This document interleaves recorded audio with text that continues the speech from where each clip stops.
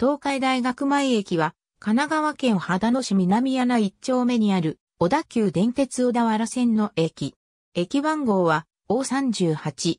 秦野市に所在するが、秦野盆地の外側に位置しており、平塚市との市境が近い。徒歩約15分の距離にある東海大学湘南キャンパスが駅名の由来。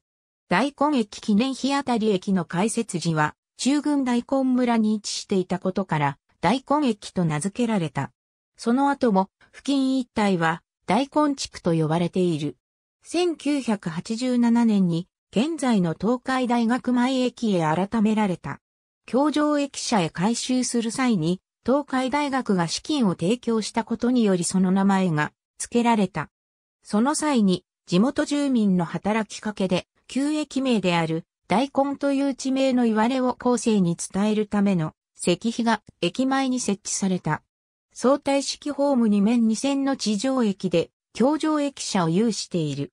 改札外からホーム階を連絡するエレベーターが設置されている。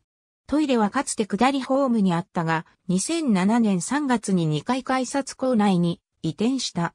移転前から多目的トイレを備えていたが、移転後はオストメイト、乳幼児対応設備が追加された。乗り場は東側を一番ホームとして、下表の通りとなる。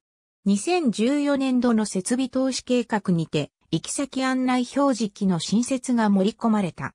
さらに、ホームウアの増設工事を実施する予定である。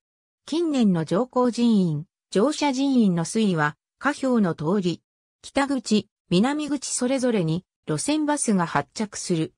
北口の乗り場の名称は、東海大学前駅であるが、北口を出て線路沿いを、肌の方面に100メートルほど進んだ先に乗り場がある。